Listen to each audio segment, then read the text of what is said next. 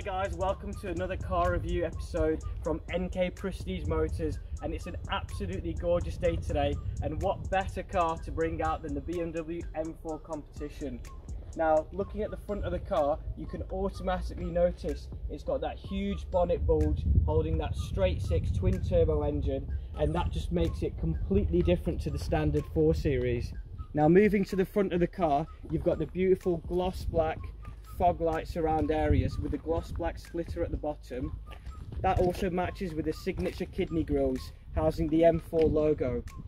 Now the BMW LED headlights are also part of the package on this 2017 M4 competition.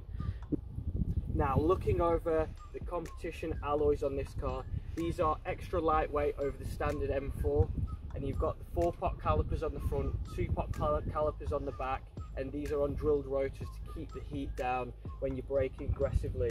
Now these are also finished in a matte black effect and the design of these are so iconic. These are the competition alloys and you know them from a mile away.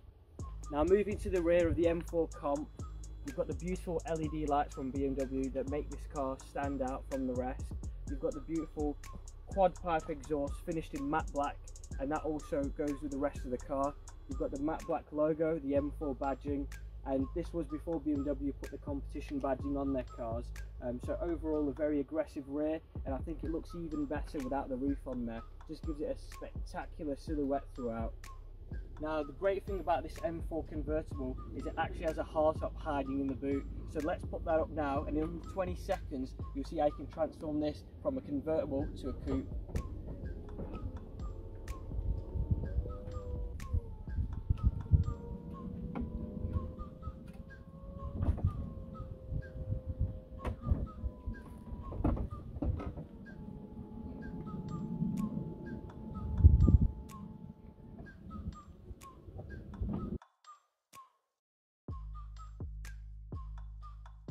Now we're going to take a listen and see why the M4 competition is such a special car.